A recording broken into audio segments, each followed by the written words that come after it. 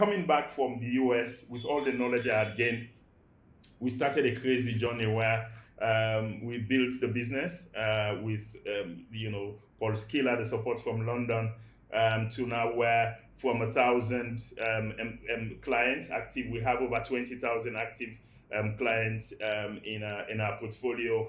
70% are women wow. from five full-time staff. We have over 120 staff um, from one branch. We have about 11 branches now.